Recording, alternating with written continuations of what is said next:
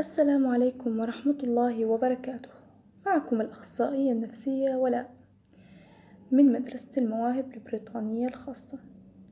عدت إليكم من جديد لنتحدث عن التعزيز. وسأعرض مقابلة صغيرة تشرح التعزيز بطريقة بسيطة. طفلي يحتاج دائما للتعزيز. ويطلب على كل سلوك يقوم به معزز هل استجابتي له وتقديم المعزز قد يتسبب بضرر؟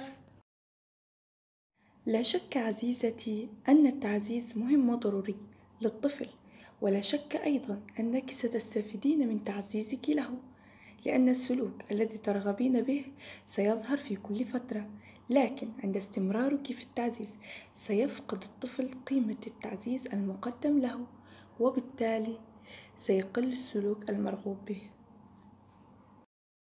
ما العمل لكي نكون نحن الاثنين مستفيدين بحيث أستفيد أنا من ظهور السلوك ويستفيد هو من التعزيز؟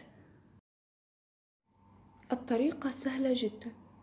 حاولي أن تقدمي التعزيز بشكل متقطع وهذا يجنبك ويجنبه الضرر وذلك عن طريق تقديمك للمعزز.